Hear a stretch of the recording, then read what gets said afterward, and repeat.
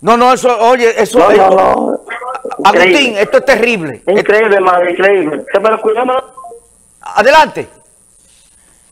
Eh, señores, vamos a hacer conciencia, porque eso eh, nos vas a dar a todos y, y hay gente que son vulnerables. Aquí tenemos a Ivian, el líder de San Martín. Adelante, Ivian. Sí, Omar, déjame decirte algo.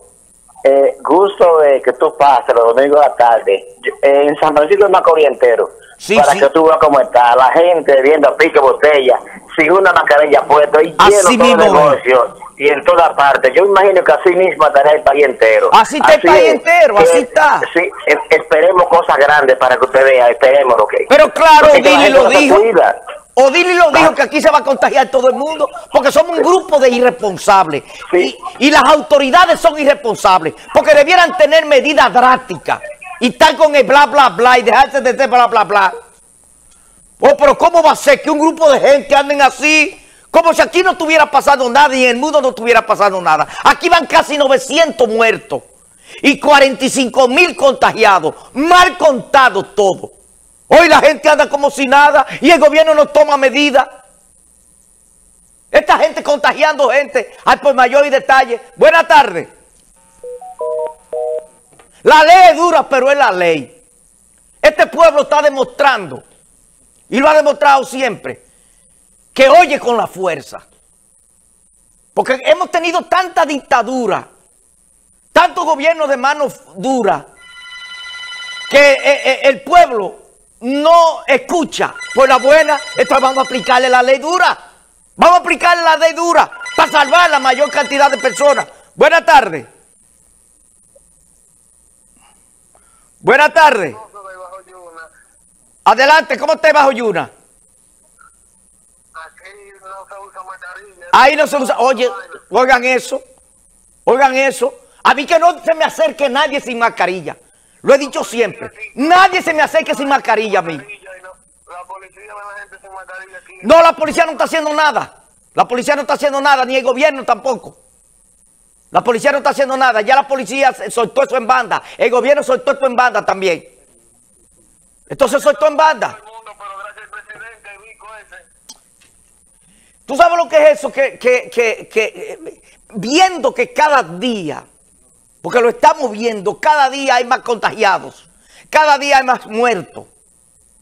Oye, entonces, si la gente escucha utilizando la fuerza, porque por eso es que muchas veces, por ser contemplativo y ser blandengue, cuando viene un huracán, que a la gente le dicen cuando está en la orilla de los ríos, oiga, sálgase, no.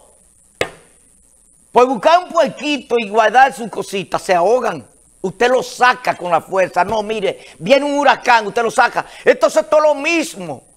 Hay que aplicar la fuerza de la ley para salvar la mayor cantidad posible de gente. Porque ¿cómo es posible que una gente, que se lo han dicho mil veces, no ande sin mascarilla? Oye, esa gente anda y las autoridades bien gracias. Coño, se va a morir el país entero por lo que yo veo. El país entero se va a morir. Señores, y Donald Trump demuestra que es un ser humano eh, que no tiene que envidiarle nada a esos esclavistas y colonialistas de la peor laya que ha conocido la humanidad. Ahora eh, dice una de las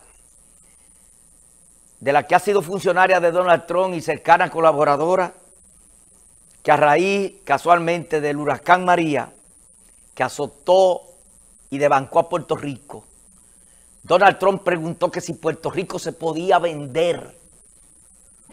Oigan eso, señores. Qué pedazo de loco, maniático y qué mentalidad. O sea, vender un país, una isla, con todo y gente. Hasta ese nivel llegó ese tipo. Le tiene un odio a los puertorriqueños.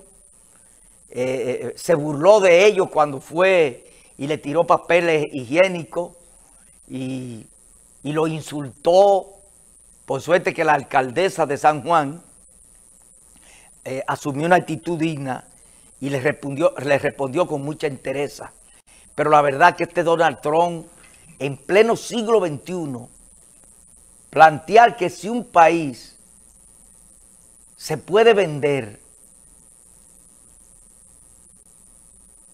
eso ya es el colmo de, del desprecio a los seres humanos, del desprecio, porque entiende que los puertorriqueños son gente de quinta, como creía Hitler, de los judíos, y por eso cometió un holocausto donde eh, asesinó más de 6 millones de judíos y de 11 millones en general, pero los judíos, que él lo consideraba raza inferior y que iba a llegar el momento de aniquilarlo, porque dañaba la raza eh, eh, superior de los alemanes,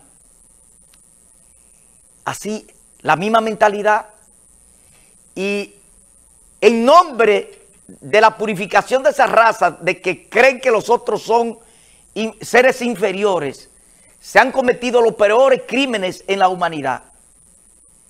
Y cuando ese holocausto ha sido condenado por la historia, por lo que eso significó, tortura de la peor especie, eh, campo de concentración matando seres humanos de la peor forma. Y eso ha sido condenado por la historia. Y en pleno siglo XXI este sujeto venir con una posición como esa, preguntar que si Puerto Rico se podía vender, eh, lo retrata y lo desnuda como un ser despreciable y que la humanidad tiene que despreciar porque sería capaz de cualquier cosa ese sujeto. Eh,